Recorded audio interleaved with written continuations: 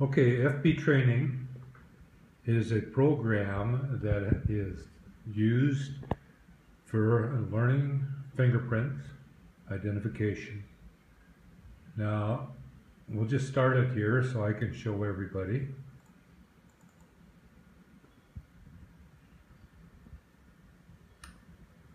Okay, what happens is when you start FP training, it'll come up and the training program itself comes with four pre-made tests.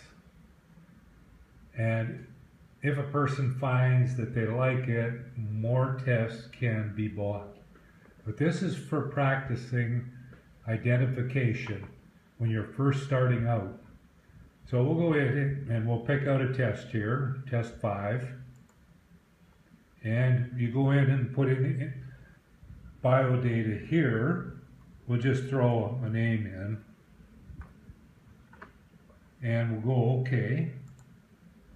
Now what happens is you're brought to a screen, this screen here, and what you'll do on one side of fingerprints, the other side of fingerprints, okay, the prints on the left, you click on it, and the matching print on the right will come up with it. And now you are to identify that print. Is it the same?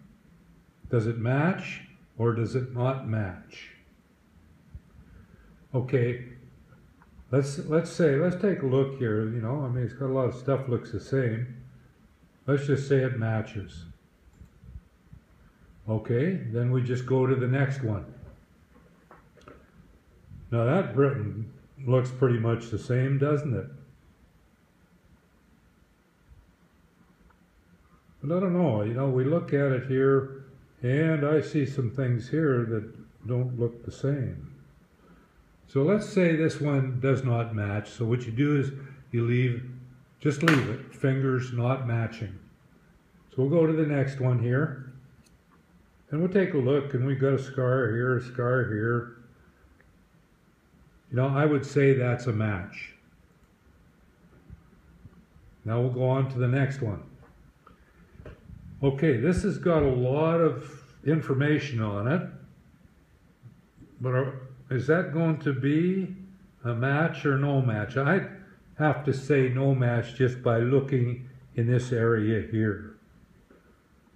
So we'll just leave it, fingers not matching. Now let's go to the next one.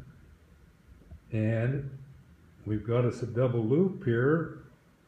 Now is this a match or is this a no match? Well, it looks pretty much the same. I've got a line across here. Well, let's call it a match. Okay, so now when you finish the test, you've got five prints or you've finished your practice, click on Finish Test. Okay, now that'll take you to this screen. Okay, now what you're going to do is you're going to go out, just click OK, and File, Exit, and you'll open up the Results Viewer.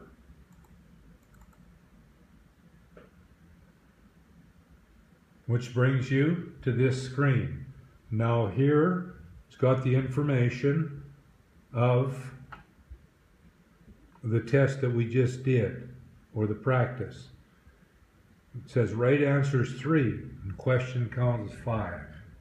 Well, we can go over here, and we can have a look on the right here.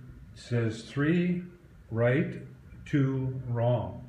So let's go in here and we can see which ones that we have correct. Okay, so now I want to see what I have wrong. And these two look the same, but they weren't the same, as was this one. Okay, that finishes up for this. It's a uh, good little practice tool for anybody that wants to learn fingerprints and the examination of fingerprints. Thank you very much for your time.